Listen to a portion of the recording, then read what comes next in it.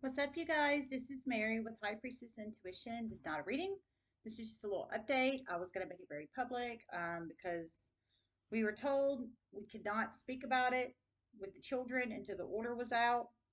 Um, and it's out, and I'm obviously not speaking with the children about it, but um, I wanted to let everybody know because everybody knows I had a court date on Thursday, and um, for uh, per the McLendon standard. Um, the kids testified, just to let you know, the kids testified and both wanted to live with their dad.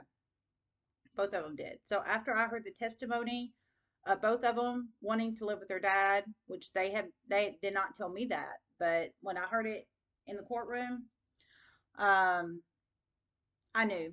I mean, I knew one, it was going to go that way, and two, it should be what's in the best interest of the children. And um, if they both want to live with their dad, that's what's in the best interest of the children. And that's just the truth, period, point blank. Um, it shouldn't be about money. It shouldn't be about material possessions. It should be about what's in the best interest of the children mentally, physically, spiritually, emotionally. And they both wanted to live with their dad. So, um, and they got what they wanted. And I made, honestly, when I heard, I heard it, um, I'm glad. I mean, it was a little hard. I didn't want them to testify. I didn't want them to testify because testifying is hard on children. But they testified the last time too. But they went to the judges' chambers. Um, this time they didn't go to the judges' chambers because I wanted to hear it. But I'm glad. I'm glad I did because um, if that's the way they feel, then I mean, they can try it. You know, I mean, I know when I was a kid, uh, like I'll give you an example. When I was a kid, my um, I'm a foster child. For anybody doesn't know, I'm a foster child, or I was a child of the system.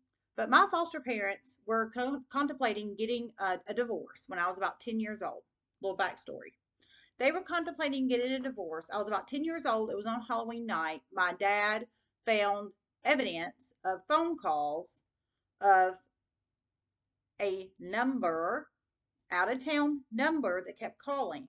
And he under he did his own investigation and he found out that she was having an affair with him. That my foster mother was having an affair with this guy.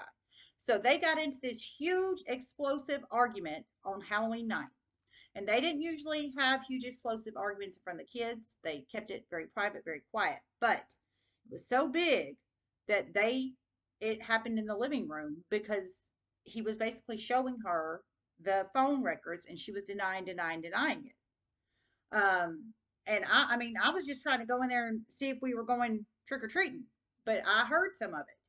I mean, it was bad. It was bad. I mean, it, they didn't involve us, but I could hear it. I could hear it. But my point is, is after that, of course, I didn't say anything. I was a 10 year old kid. I was told to go back to the bedroom and wait. So I did. So I went back, and of course, I, you know, went out in the hallway and kind of listened a little bit and figured out the rest of it. And it's basically what I just told you. But my point is, is um, about a couple weeks after that, my foster mother, not my foster father, my foster mother came to me and she said, if me and your uh, dad was to get a divorce, whose home would you want to live in? And of course, me and her never got along, ever, ever, ever. Even back then, especially not back, especially back then. And so, of course, it was easy for me to say, my dad. And I did. I said, my dad. She goes, really? Like all surprised. And I was like, yeah. And so that was the end of it. Um, so, anyways, my point is when I heard them on the stand say that, it flashed me back to that because I believe they should have a choice. They should have a choice. Just like if they were to, if my foster parents got a divorce all those years ago, I would, there's no way I would have wanted to live with her. No freaking way. No way. Uh, it would have been my dad all day long. If I would have lived with her, I would have ran away. And that's the that's the truth. I would have ran away. That's the damn truth. Um, that's the truth. So um, so anyways, so but I still, you know, it's still the way it is right now. So he has custody, full custody, uh, primary fiscal uh, fiscal custody, and I have visitation. So it's just flip flopped. It's like it was in the McLendon standard. I have visitation. He has primary, um, sole primary physical custody.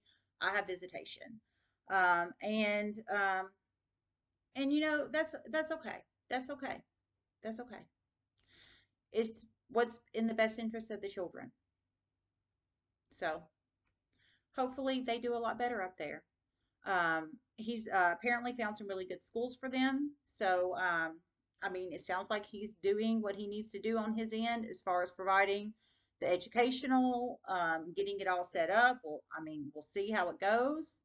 Um, so we'll see how it goes. Anyways, I just wanted to update you guys on that. I love you guys so much. Everybody have a wonderful day and namaste.